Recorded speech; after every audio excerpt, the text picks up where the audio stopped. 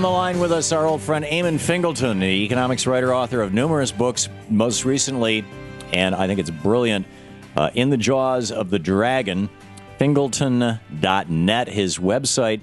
Eamonn, and uh, an Irish writer and and uh, on economic issues, who is living has lived in in Japan for 25 years. You you write Eamonn about how your first earthquake 25 years ago uh, shocked you and didn't shock the Japanese around you, but uh, this one was a little different. Welcome back to the program. Uh, thank you, Thom. Delighted to be with you. Uh, yes, it was a hell of a shock for all of us. Um, um, I, I, don't know anybody in Tokyo who's been through a worse one, but it was actually uh, uh, pretty um, okay for us compared to those 200 miles to the north, who, of course, were wiped out. Yeah.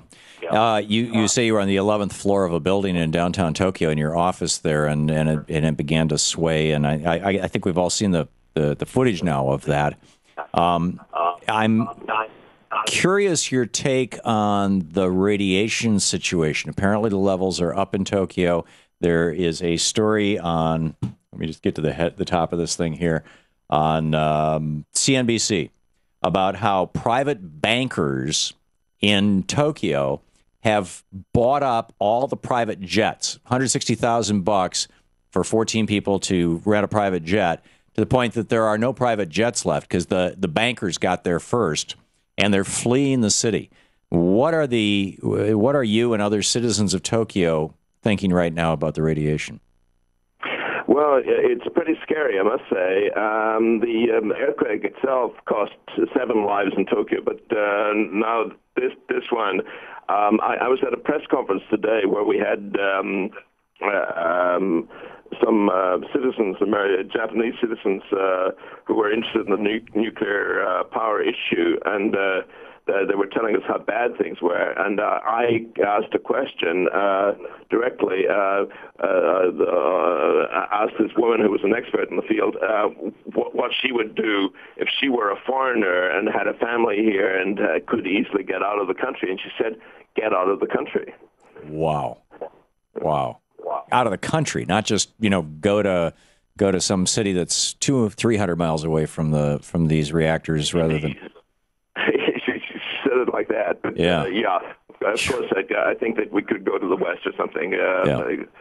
Japan's but, a big place. But apparently, that's that's what a lot of Japanese are doing. Um, you you've lived there 25 years. Your wife is Japanese. I'm I'm I'm guessing you're you're going to stick around.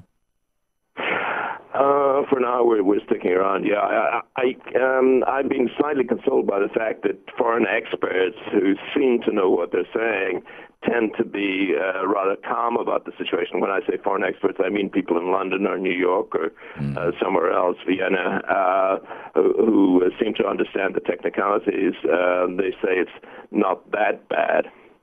Uh, that's not what I'm hearing. I gotta tell you, some of the foreign experts here in the U.S. are freaked out because they these these idiots who designed this nuclear power plant uh, for General Electric. Three engineers, by the way, resigned because they said it was so dangerous you know, gave up their careers 25 years ago um, to design these Mark One reactors. Uh, they put the nuclear waste on the ceiling, on the roof of the reactor building. And it is that nuclear waste, in, in some cases, as much as eight loads worth of nuclear fuel, that has now become nuclear waste. So instead of mostly uranium, it's like cesium and iodine and, and, and thorium and all these other things it's like a giant dirty bomb, and and it's boiling away the cooling water. And this is the concern about four, five, and six, and it'll become the the world's worst dirty bomb.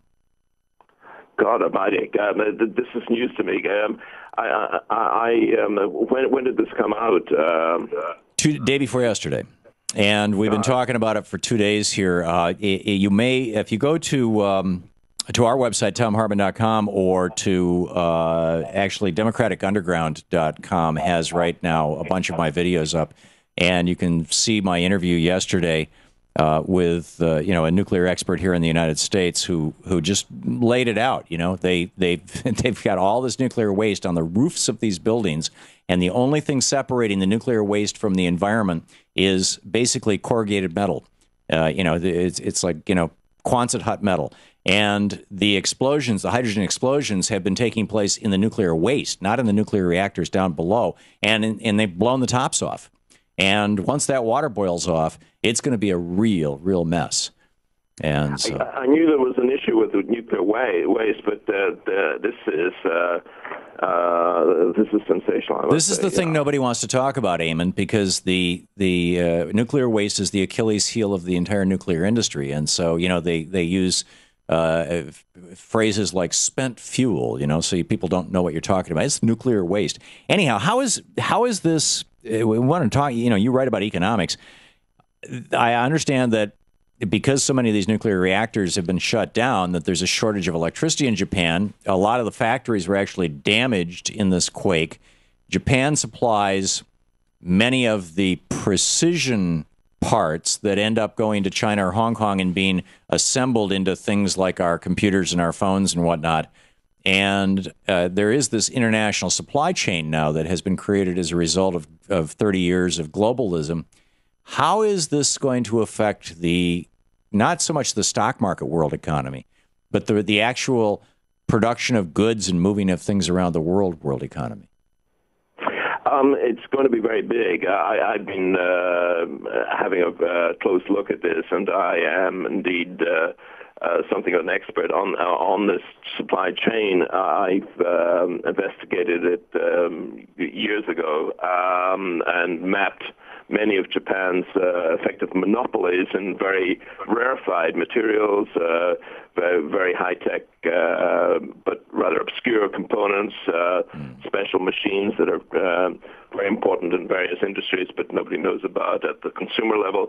Um, Japan has an awful lot of these, hundreds of them, and um, m- many of them. Um, probably are located in uh, this area that has been devastated. Well, we don't know yet because um, corporate Japan tends to be rather vague about um, uh, its operations. It tends not to disclose where exactly it does particular things. So uh, we have to just wait and see um, where, where, the um, shortages arise. Right. So, uh, are there any indications, any early indications that the uh, global economy in, or the global business of high tech electronics in particular uh, is already being affected? I mean, are we going to start seeing shortages of laptops or chips or computers or things like that? Um, one thing that um, uh, we're worried about uh, is uh, special uh, NAND uh, chips, NAND chips, uh, mm. which are so-called flash memories, which are used in uh, iPods, iPads, things like that. Um, Japan accounts for 40% of the world's supply, and some of the factories are in the affected area. Wow. Um, but, but there, there, are many other things. I know that uh, Nissan Motor has its uh, main engine factory for its larger cars in the affected area.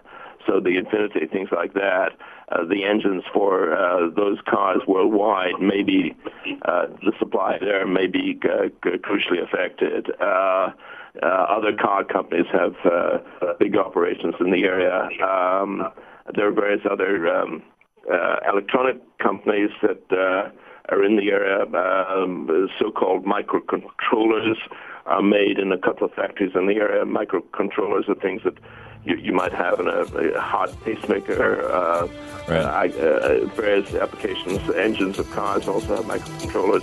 So all sorts of things. Yeah. So so this this is going to have consequences beyond just the nuclear consequences. Eamonn Fingleton, Fingleton.net is the website for Eamonn's works. Uh, I strongly recommend his most recent book, In the Jaws of the Dragon. Eamonn, thanks for so much for being with us from Tokyo today. Okay. Thanks.